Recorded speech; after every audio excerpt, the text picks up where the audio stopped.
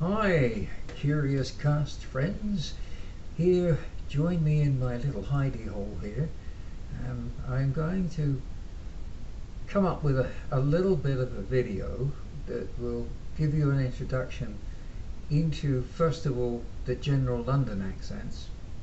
And um, then during the next few weeks, we can work on things that suit how you feel about a character and we can deal with the various accents and there will be quite a few. So um, let's start with talking about the London accents. Um, there's always the received pronunciation uh, that one has with uh, more genteel or supposedly the upper class and they will always uh, have a long way of pronouncing a word and you will hear the beginnings and ends of words. It's sort of overemphasized for that. And then you deal with the local dialects in London. Um, one is called Cockney. Uh, basically supposedly all Cockneys were born in the sounds of Bow bells, and Mary St. Le Bow was the church in the East End of London. Now, there's that, and then there's the normal sort of East End London accent. Uh, so basically, the accents come about by the different delivering in timing of a sentence or a word. Uh, and then otherwise it, the vowel sounds the vowel sounds and the way the diphthongs etc in the joining of vowel sounds and consonants get together. That's it sort of in a basic nutshell. Um, I'm now going to come up with a little sort of rhyme and try and show you how with the different levels uh, how it might sound.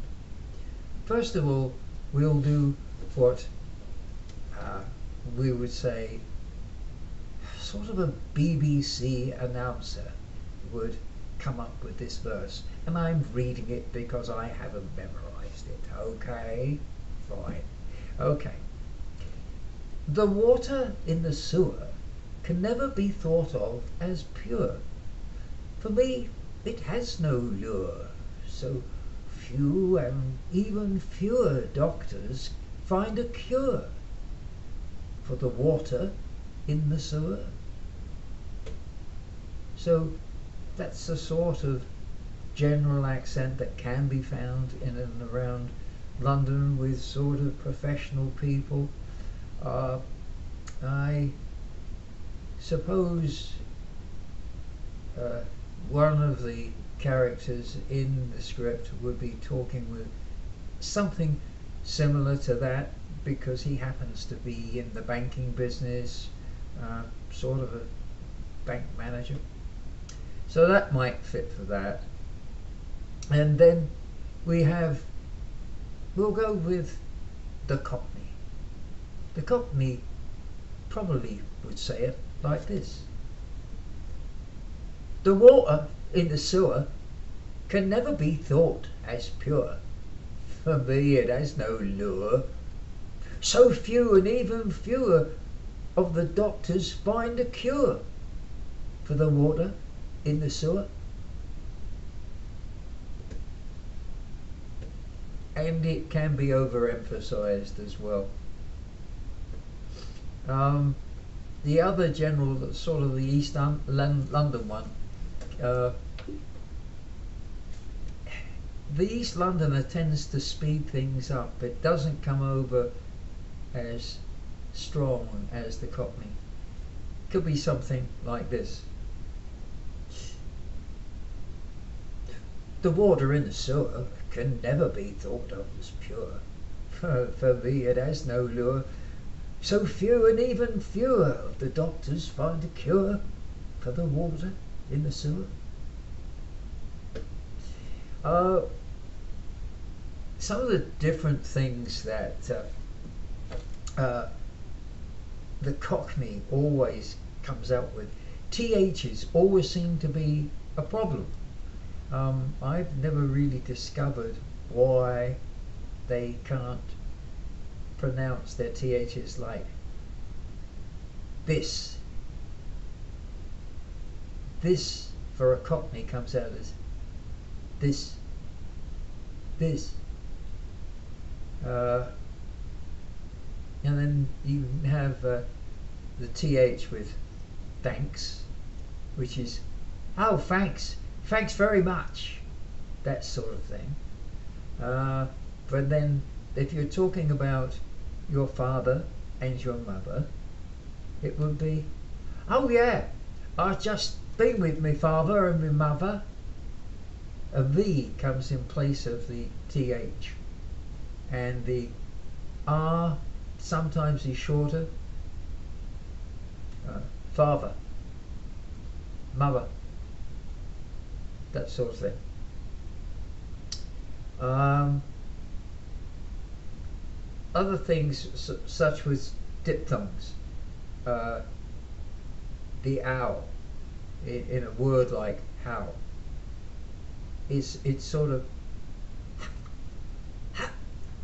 how, how, ow, more like ow, if anything. How are you then? Okay, that's a generalization, and uh, and and then for allow it would be. Are you going to allow that then? Allow, uh, allow.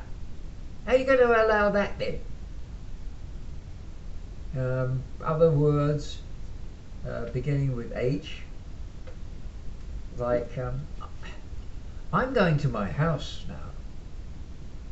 Turns out for a Cockney and some Londoners, I'm going to my house now. So the H drops off and it just really becomes house.